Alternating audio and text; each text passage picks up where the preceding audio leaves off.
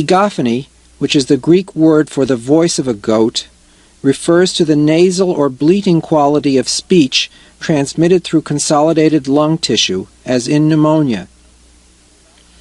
Occasionally, egophony will be heard over a pleural effusion when there is collapse of the underlying lung.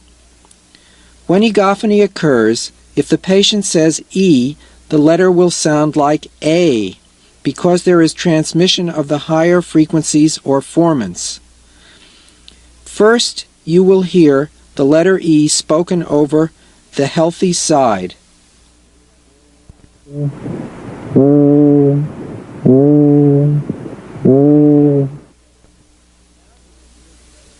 Now you will hear the letter E spoken over the area of consolidation.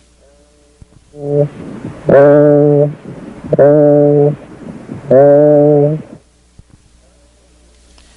now you will hear the sounds as the microphone is moved from one side to the other, starting with the healthy side. Mm-hmm.